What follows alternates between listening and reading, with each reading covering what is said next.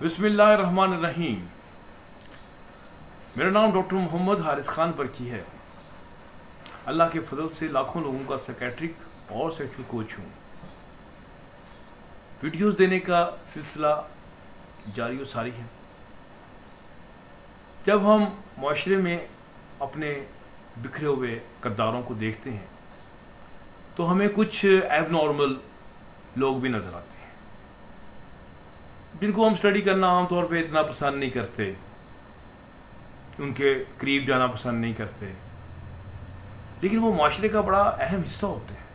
Activities उनकी चल रही होती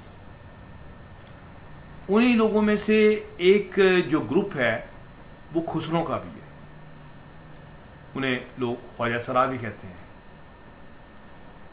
तो हमें देखें, अगर बाज़ार में निकलते हैं तो आपको चौकों में ये मांगते हुए नज़र आते हैं। शादियों पे ये नाचते हुए नज़र आते हैं।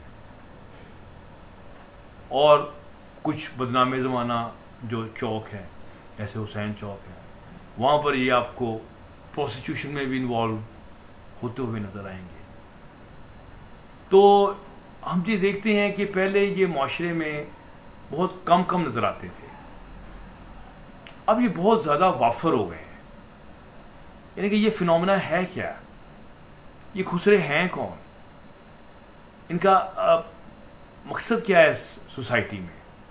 इनको स्टडी करना चाहिए कि ताकि हम इनको जान सकें समझ सकें। माशरे का अगर हिस्सा है तो उसको हम पॉजिटिव तरीके से इस्तेमाल कर सकें। तो मुख्त सवाल हमारे दिमाग में जन्म लेते हैं। और इन्हीं सवाल का जवाब मैं आपको इस वीडियो में इंशाल्लाह आपको दूँगा कि आपको इनके जो ग्रुप है, इनकी हैत यानी कि ये हैं क्या, ये समझ आ जाएगी। इन लोगों की साइकोलॉजी क्या है, वो समझ आ जाएगी। तो फिर उसके बाद ये आपका ऊपर मुनहसर है। क्या आपका रवैया उनके साथ कैसा रहेगा? अभी तो लोगों का बड़ा अजीब गरीब रवैया होता है। उसको देख के लोग अजीब व गरीब रिमार्क्स पास करते हैं। कुछ लोग तशद अमेज़ रवैया भी इख्तियार करते हैं। कुछ लोग नफ़रत से उनको देखते हैं। कुछ लोग शहवत से उनको देखते हैं। तो ये मुख्तु लोगों के मुख्तु रवैये हैं। और ये तो आपने डिसाइड करना है कि आपका रवैया क्या होगा। मेरा काम है आपको उसके मतलब एक आगाही देना कि ये क्या है। तो जनाब, ये जो खुसरे जो हैं, हम बचपन में देखते थे, हम जानते थे, कहते थे कि यार ये वो हैं जो ना हियों में हैं, ना शियों में हैं। ना मर्द हैं, ना ये औरत हैं। तो हमें यही पता था कि अगर इनको अगर न्यूट किया जाए तो इनके जो जिनसी अज़ा हैं, वो पूरी तरह डेवलप नहीं होते रूडिमेंट्री होते हैं, नामुकम्मल होते हैं। तो और इनको ही खुसरे कहते हैं। तो हमारी ये बात खासी हद तक ठीक थी। असल में तो खुसरा उसी को कहते हैं, जिनके अधूरे जिनसी अदा होते हैं।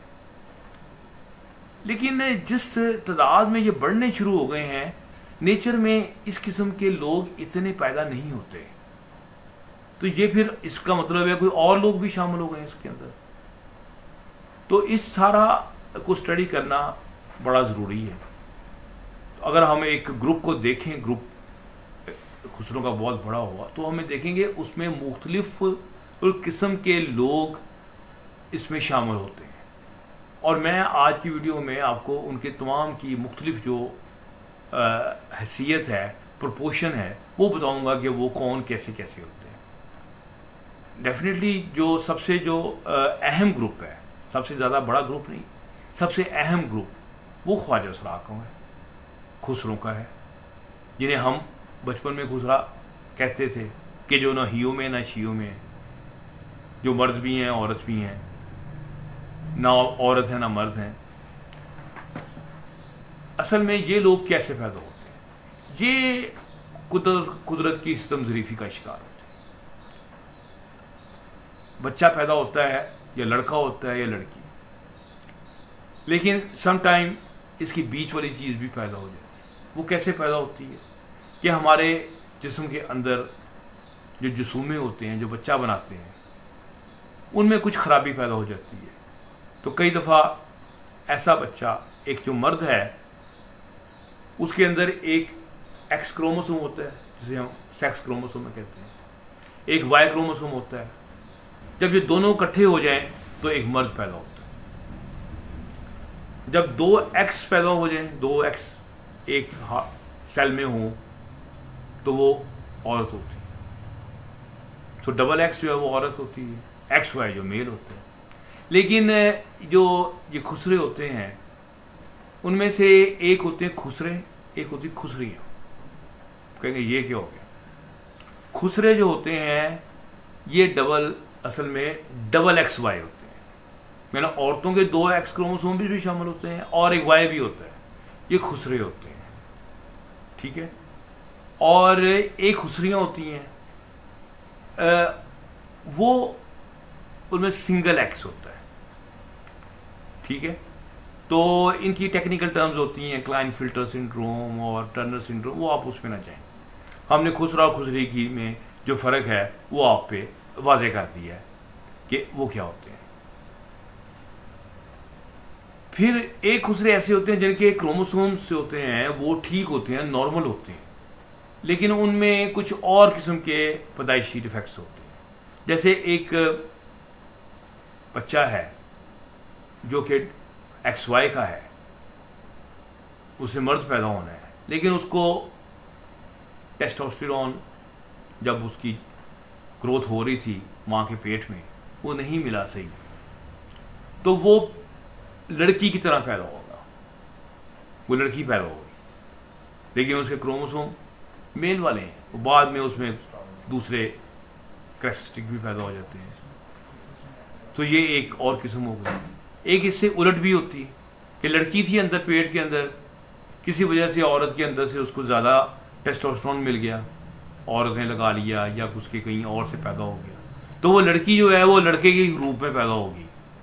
तो वो भी एक डिस्टर्ब हालाँकि उसके क्रोमोसोम डबल एक्स हैं। वो लड़के की सूरत में पैदा हो ये जो कॉम्बिनेशन है, इसे हम कहते हैं इंटरसेक्स और ये जो है असली खुसरे, जिसे हम खुसरे कहते हैं, ख्वाजा सराग कहते हैं, ये वो है। ये वो फेस है, जिसको हम थर्ड सेक्स कहते हैं। तो असल में पहले जो खुसरे थे, वो ज़्यादातर यही लोग होते थे। किसी घर में खुसरा ऐसा पैदा हो जाना क्लाइनफिल्ड सिंड्रोम का या इसका टनर सिंड्रोम का बच्चा पैदा हो जाना तो वो खुसरों को दे दिया करते थे। कि ये हमारे में से नहीं है। वो बच्चा भी खुद भाग के उनके चला जाता था। तो वो नाचना गाना ये करना वो करना ये उनके काम होते थे। तो या लोगों के घरों में काम करते थे। पेरेंट्स भी उसको डिसोन कर देते थे। तो वो ग्रुप था जो कि एक खुसरों का ग्रुप था। आ, लेकिन हमने ये देखा कि ऐसा नहीं रहा बल्कि कुछ और ग्रुप्स इसमें शामिल हो गए। जैसे पैराट्रूपर नहीं एक पार्टी बनती है, उसका कोर ग्रुप होता है, फिर कुछ और ग्रुप लोग आ जाते हैं तो वो और ग्रुप इसमें शामिल हो गए। वो ग्रुप बहुत बड़ा बन गया। उसे हम अभी अगली वीडियो में डिस्कस करेंगे। तो लेकिन ये जो अभी मैंने आपसे बात की है कि ये वो असल खुसरे थे, जो ख्वाजा सरा हैं, जो मरूसी तौर पर खुसरे हैं जो जेनेटिकली मटीरियल जिनका फ़र्क है, और ये खुसरों का असल चेहरा है। और उनको चेहरे को रखते हुए कई और लोग इसमें शामिल हो गए। जिनका मैं थोड़ा थोड़ा ज़िक्र कर देता हूँ। उनमें होमोसेक्सुअल भी शामिल थे पैसिव होमोसेक्सुअल जिनको शौक होते हैं पुठे किस्म के। वो उनमें शामिल हो गए। कुछ लोगों को वैसे लड़की का रूप इख्तियार करने का शौक था। वो ट्रांसफोस्टाइज कराते हैं। वो इसमें शामिल हो गए। फिर उसमें ट्रांससेक्सुअल्स हो गए, जो अपने आप को समझते ही ऑपोजिट सेक्स का हिस्सा है आते हैं। हालाँकि वो बिल्कुल अपोजिट होते हैं। मेल हैं, लेकिन अपने को फीमेल ही समझते हैं। और उनके ख्याल में वो ऑर्गन्स जो हैं, वो बेकार हैं, वो काट भी देते हैं।